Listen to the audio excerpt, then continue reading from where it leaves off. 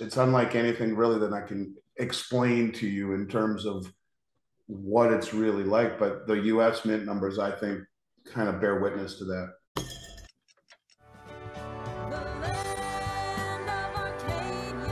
Well, hello there, my friends. Chris Marcus here with you for Arcadia Economics. And welcome on into the show where certainly if you are a gold and silver investor, congratulations on the news because as we've seen the gold price flirt with that $2,000 mark a couple of times over the recent couple of weeks, there was quite a rally today. And now you see the futures price up at $2,042. So here uh, we are looking at the one day chart. Let's take a look back at the one week. You see there's the $2,000 level, that red line, and price broaching that briefly until a spike higher Similar price chart in silver, where up over a dollar in the futures contracts. Now silver trading above $25. So the rally continuing in silver as well. And just for those who like to see the Kitco multicolored charts, um, they're showing the spot price a little bit lower than the futures, but you can see the big move there in both gold and silver. So not entirely surprising given what is going on and given what you're about to hear from Andy Schectman as he talks about what he's been experiencing on the retail level in gold and silver. And with that said, let's pass it over to him now so that you can hear more from this week's physical silver market report. Once again, it is that time for our Tuesday physical silver report with Andy Schectman of Miles Franklin. So Andy, appreciate you making some time. Good to see you this morning. And how are you today, my friend? Always good to see you, brother. I'm I'm hanging in there. Thank you. It's been the craziest uh, three weeks that I can ever remember, and in my whole career, literally. Um, but we're surviving. We're hanging in there. It's good to be back, and thanks for having me. Well, as you come back on, we're recording Tuesday morning here, and we do have gold futures over two thousand dollars an ounce. We've seen price touched that level a couple of times in the past few weeks, break through a little bit and then come back down. We'll see where we go from here on this one, but I'm curious how are people responding to that um, in the physical retail gold market, and we can touch on silver as well. Yeah, I mean, in, in a way, Chris, that is is um, unlike anything that this industry's ever seen. This is a whole different thing, as we've talked about before this isn't about making money. This is about protecting what you've worked your life to to obtain and to safeguard. And it's one thing when when people on our side of the table speak to the frailty of the markets in terms of their fundamentals in the stock market or the bond market or the real estate market. It's, it's another thing altogether when we think about our money in the bank being at risk. And that has ignited a fuse of concern that I've never seen. I mean, you can look at the US mint numbers as an example, their gold coin sales, we put in uh, Eagles and Buffaloes, combined to over 288,000 ounces in March. That's the highest monthly total since October 1998. And on a year to date basis, gold coins have they've sold almost 600,000 of them. And that's the highest first quarter since 1999 when everyone was waiting for the computer systems to blow up uh, humanity in the Y2K debacle. And that believe it or not, I, I, I was actually in the industry back then uh, during Y2K, and, and that was pretty pretty crazy too. I think our company sold as many one tenth ounce eagles as anyone in the country back then because people were concerned. They were afraid that the computer systems are going to blow everything up. Well, the common thread here is that concern about what's happening has really dominated this entire landscape. Um, and, and it's it's um, it, it's it's it's unlike anything really that I can explain to you in terms of what it's really like. But the U.S. mint numbers, I think, kind of bear witness to that. Yeah, and speaking of the banking issues, was interesting because we see, uh, obviously, in the silver community, uh, a lot of people's favorite banker, even Jamie Dimon, saying the banking crisis is not over and will cause repercussions for years to come certainly we'll see where the Fed goes with its interest rates in the next couple of meetings. Um, not an ideal situation for the Fed based on whatever they do, but just fascinating to see that this is now on the front of CNBC and I think people are starting to notice, and as a result, turning to gold and silver. Yeah, no question about it. And you know, I mean, speaking of J.P. Morgan, 33 tons of gold were withdrawn from their vault this week. You know, and that that's that's uh, as big as it really gets. In fact, it might be one of the biggest sales in their history, uh, selling 1.7 million ounces of gold. And they're, you know, you can see the cartel really trying to defend these lines in the sand that the two thousand dollars is is a big a big line and, and these big banks are not immune to the problems that we see either you know you look at the derivative position of a bank like jp morgan last i looked and, and again this is from memory they were over 50 trillion dollars in had a position in derivatives of over 50 trillion dollars so yeah these banks everyone's going to notice it's not just the regional banks that are going to have issues. I think it's the big banks too. But what's really crazy about all of this is that the public, because of what's happening in the banking is uh, sector is being driven out of the regional banks into banks like JP Morgan with these massive balance sheets and these massive derivative exposures. And as Dimon told us here recently this last week, the banking crisis is not over. In fact, I think it's just beginning. And we're starting to see, I think, the reverberations through the banking sector as I don't know how many billions of dollars were withdrawn out of the market uh, just this last week. In fact, yes, I do know 126 billion dollars were withdrawn out of just this past week. 225 billion in the last three weeks. So you can see money is being yanked out of the banks and you know going into precious metals going into brokerage accounts where people are putting their money into money markets, which is is higher than than you know what you're able to get at, at your at your local bank. And so the stress and the strain that's being put on the banking system is what is driving this anxiety in the industry, Chris. And and you know, similar to the theme that I've been talking to you about for a very long time relating to um, supply, it's all drying up again and premiums are going to rise again. And uh, I will tell you that, you know, when we first talked about this a week ago or two weeks ago, I told you that it was, it, we had seen an expansion, right? But that it was largely, at least at the very beginning, largely existing clients who were who were really doubling down because their beliefs were validated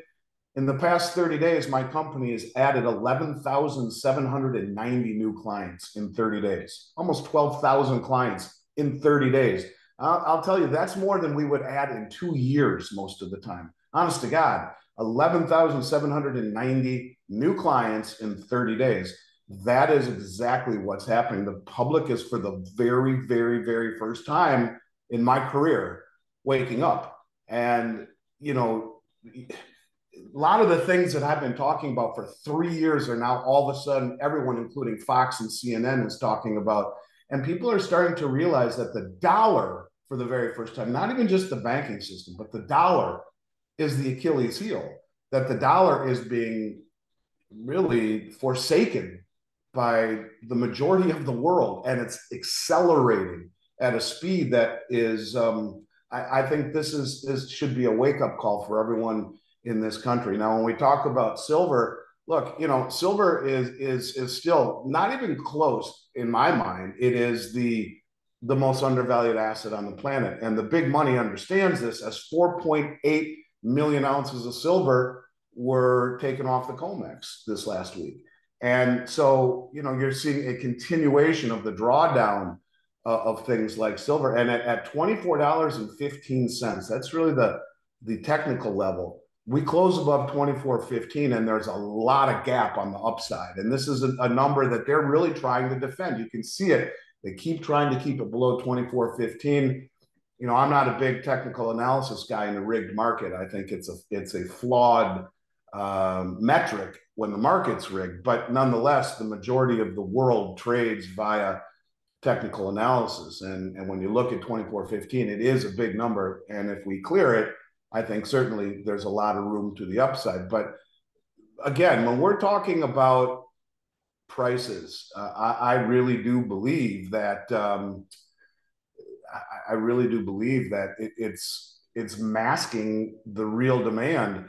Whether it be the retail demand, which is literally off the charts, or even the, the big money, which is quietly using suppressed price to, to drain the exchanges, 4.8 million ounces in a week. That ought to tell you that there's big demand behind gold and silver right now by the biggest money in the world. And, and it is because of the global de dollarization, it is because of the ridiculous brain dead monetary policy of the Fed trying to backstop the banks and and the fragility in the entire sector. And the fact that we are meddling with with elections and and and indicting uh, former presidents when the current administration is literally a criminal cartel and yet we are so far off course that i think the rest of the world is looking at us right now as laughing stocks. And that is why i i really do believe that you've seen so many things accelerate over just over the last week, week, whether it be Saudi Arabia striking trade alliances with Russia, India, Pakistan, and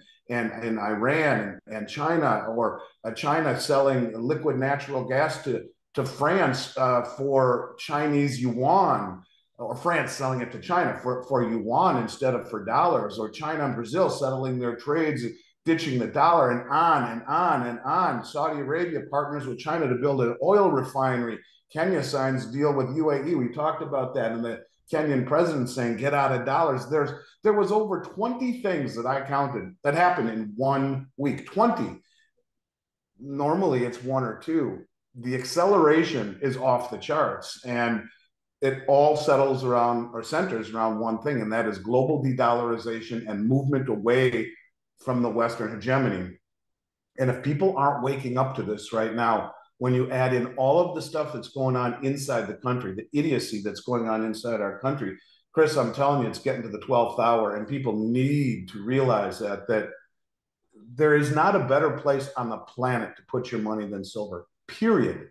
And I think the biggest money in the world who continues to use the, the cover of, of price and, and, and is showing us that by the drawdown in supply I don't know. It, it uh, I think we're getting very close to that moment where it it sparks a real awakening by the public. The fact that we have nearly 12,000 new clients in 30 days ought to bear witness to that.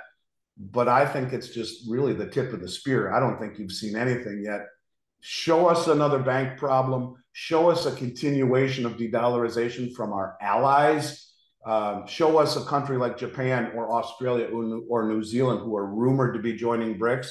I mean, what more of a wake up call do we need than to see our allies to the south, Mexico, formally apply to the BRICS nations? And, and these are the things that I've been screaming about for a long time. You do not buy silver to get wealthy, albeit it might be the most intriguing uh, investment opportunity I've ever seen but I don't buy it ever for that reason. I buy it because it is wealth. And in times like this, where we are confronted with such sweeping change, more so than in any time in any of our lives, the potential loss of the world reserve currency and and having our, our you know people countries turning their backs on us and and arguably rightfully so when you look at it from their perspective i think this is beginning to be that moment that you and I, in the back of our minds, have seen for a very, very, very long time as to what silver really can do, not only to make you uh, wealthy, but to provide you a life raft for what is going to be, I believe, um, a, a, once in a lifetime change. And, and we're crossing that Rubicon of, of, of real, real change that no one in this country really has ever experienced. And I think we're, we're closer to that than we've ever been. Yeah, there certainly is a lot happening quickly, as you point out. And uh, I'm curious, how do things compare the last couple days versus when uh, banking issues first started with uh, Silicon Valley Bank? Uh, geez, I guess four or five weeks ago now. Has, has it slowed down a bit? Is how, how does it compare to when all this started initially? So that's the thing, you know, and I I'm not trying to say I was right, but what I've been talking about for the last three years it is now being embraced by the mainstream media. Fox and CNN act like they're onto something that the BRICS nations are accentuating, and these countries are striking alliances. That had a big deal. It was a big deal when the second largest exporter of corn in the world, Brazil, signed a deal to only trade with China in yuan. The mainstream media is waking up to what is happening, the alliances that are being made in the BRICS nations, and you know maybe no bigger than Saudi Arabia just formally applying for the Shanghai Cooperation Organization, and this is gaining traction in the mainstream media. And so it's one thing to talk about banks failing, which certainly has ignited a, a cascade of concern. But for the first time, I think you're seeing a broader understanding of what it means to hold the world reserve currency and what it possibly means to lose that. And so, what we are seeing is um, an influx of very, very large orders, um, six and seven figure on, on average. Now, we don't have an order minimum. We work with all sorts of clients, and they're happy to do so. But when you get 20 or 30 people in a day, each one of our brokers who are wanting to buy six and seven figures, this is stuff that I've never seen before. Um, this is stuff that I never even dreamed of as owning a company in, in this industry ever. And, and yet we're still only just barely expanding into the mainstream. And so it, it's it's a continuation. It's it's um, actually larger orders and just complete and total anxiety. If you don't get back to someone within an hour, they're they're very very um, anxious and they're calling repetitively and sending emails and this is an environment I've never seen, Chris, and it's hard for me to explain to you what it's really like. But I will tell you that there is no motivation like fear and concern, and that is what we are seeing in the mainstream media. Even though they are two years too late on this story, they're finally getting it and people are putting the pieces together. It's not just what's happening here, it's the fact that what happens if we lose the reserve standard. And that's what what Fox and CNN are finally coming out and saying that all of these countries are, are striking deals. But when you see a country like France do a massive liquid natural gas deal with China and do it in yuan, when you see Mexico join BRICS, when you see Brazil start trading only in yuan with China, these are things that people are finally saying, "Oh my gosh, what's what does that mean for the, the dollar?" And then you bring it back home and say, "Gosh, it's it's that crazy outside the country," and then I can't even feel safe in my bank. It's igniting a whole different level of demand that will, without question, paralyze the supply before it's all said and done. And I'm telling you, it, it's this close to happening when you see the mints go on allocation, as we talked about last week, the Austrian mint, the Canadian mint. The silver eagles have become a, a numismatic collectible coin because they're so damn expensive. The US mint is the model of inefficiency. We're running on three cylinders instead of six, where three of the six major mints are really ineffective as it pertains to silver right now. And, and then you have other three that you know, are across the Atlantic Ocean, and the, and their populace is experiencing the same type of anxiety and issues that we are here. So yeah, it's um, I have a feeling that that before this is all said and done, all it's going to take is one more event, and it's really going to rattle this industry, and there will be no product left. And I, I will go on record as saying that again. This market will define itself before it's all said and done with with an, the inability to source product easily without paying a fortune and, and the days of being picky and and and and cost averaging and all of these these luxuries that we've taken for granted for a long time and myself especially as the little boy who cried wolf um, it's coming to an end. So here i am again crying wolf but i guess we'll see if the wolf really is coming and you don't have to look too far to see that it is. And you know without being political i mean what what they're doing to, former President Trump to me just it, it, it hurts me in my heart. Not even because it's who he is, just that they're doing this on a world stage for a former president, and and they, it's almost as if they want to make a jury um, represent the American public, uh, you know, for the for for for the the candidate that that is leading the pack on the Republican Party, and and it to me it just it just is emblematic of all the dysfunction in this country and I think people are finally sensing that, and um, and they're they're voting with their wallet by buying precious metals and getting out of the dollar on a broader sense because what all of these things put together mean in and of themselves they're not as big of a deal. You put them all together and it, it's a frightening picture that yeah we're really screwed up here at home with our current administration but the rest of the world is running from us. And that to me you put it together and it is a very very dangerous um, stew of um, uncertainty and um, and potential massive change on a global scale. Yeah and in the midst of all of that uh, what's going on with the premiums this week? Have we seen any movement? I know you saw they were slightly ticking up when we talked last week. Has that started to change again yet yeah, they, they are going higher. And one thing that I've noticed is that all of the online companies have jacked up their premiums on gold too. And it's interesting because for the past three years, you and I would always talk, and, and I would tell you that 90% of everything we're doing is in silver.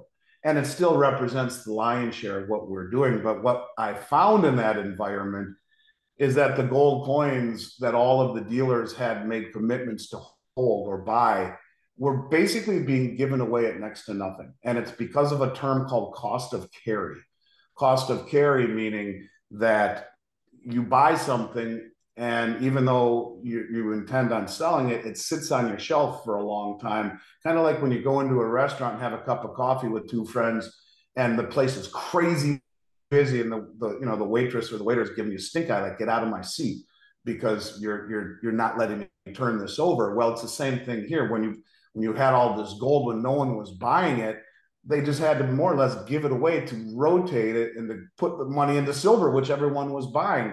That's changed all of a sudden. We've seen a much larger amount of gold sales over the past few weeks. I guess that would be the one differentiation here now that i think about it over the last two or three years is that there has been a push to buy gold now too on a larger scale because maybe it's because the orders are much larger. And you know you can put a hundred grand of gold in a woman's purse and go for a five mile walk and she wouldn't even have a sore shoulder. It's going to weigh a couple three pounds. But you put a hundred grand in silver on the other hand you're talking 250 pounds and you start to multiply that on big orders it's becomes logistically challenging. And maybe that's why we're seeing an uptick on gold. Maybe that's why you're seeing the U.S. Mint sell more gold than they have in, in you know quite some time. Um, but what you are seeing is premiums go way up in gold, and they are now also rising in silver, uh, and you'll see that continue because the strain that is being put on the on the supply side of things is is um, it's more so than silver squeeze. Uh, uh, but the interesting part about it all is that this massive demand hit the best supply we've seen in three years. And I was talking about that, you know, with you a lot on this show over Thanksgiving, over Christmas, over New Year's, and the whole month of January when people were just getting back to living life and, and traveling and doing things without uh, pandemic restrictions. The, the whole industry caught up. Premiums came down. The new allocations for 2023 came out a huge volume of supply at low premiums, and then bang, this happens. And and we're working through that that supply, but to reallocate and to repurchase comes with delivery delays and higher premiums. So yes, they are moving up, and I think they will continue to move up substantially.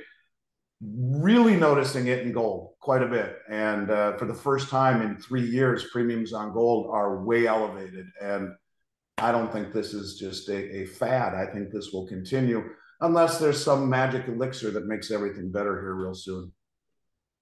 Well, I'm sure the Fed has something uh, to make everything okay again planned, and that they'll unleash at the next meeting. Inflation down, banking system solid, and everything will be good to go. At least what they say, and that's what the administration says. Uh, usually turns out a bit different than that, but either case, Andy, appreciate you joining me. Uh, before we wrap up, can you just let folks know if they have questions, want pricing, or buy or sell gold or silver? What is the best way to reach you? Yes, please send us an email at Arcadia at Miles Franklin, where we will uh, answer your questions promptly, send you an updated price list. Um, we won't be undersold. We will make sure your listeners get the very, very best price in the country. And, and you know, normally we like to offer a, a special, but it's been so crazy that it doesn't make sense to offer a special where one client will buy the whole damn thing up. And so we will try our hardest to, to come back next week with the special. Uh, certainly, your listeners deserve that. And you and I have been doing this a very long time. And if I wanted to do this with anyone, it would be you. And So bear with me. We'll we'll continue to try and make that happen next week. But uh, in the meantime, I hope you and yours stay well and everyone out there. And and uh, please trust me. This is the real deal. This is not this is not hyperbole. This is not me just trying to come up with something to say. This is the real deal. And twelve thousand clients in a month is unlike anything I ever would have ever dreamed of ever. And uh, I think this is just the very beginning. So anyways, I appreciate you, Chris. I hope to uh, see you again next week, and everyone out there stay well. Well, thank you, Andy, once again for this week's physical silver report and touching on everything that is going on. And not surprising to hear how investors are reacting, at least on the physical gold and silver level.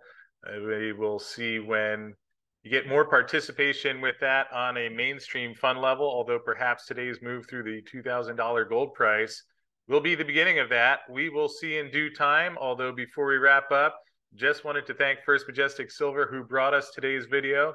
First Majestic did have their 2022 mineral reserve and mineral resource estimates out a couple of days ago, and a few of the highlights here are that mineral reserves at the company's three producing mines totaled 136.8 million silver equivalent ounces. That is a combination of 61.5 million ounces of silver 781,000 ounces of gold.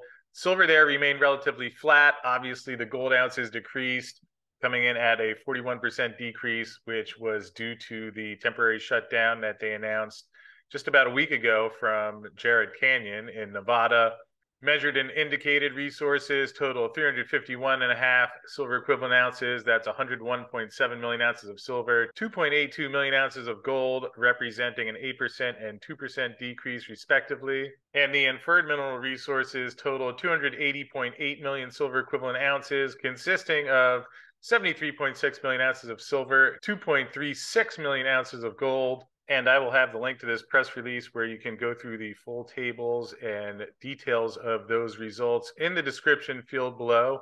But did just want to pass along that First Majestic's mineral reserve estimates are out. And with that said, going to wrap up for today. But thanks as always for tuning in, and we will see you again tomorrow.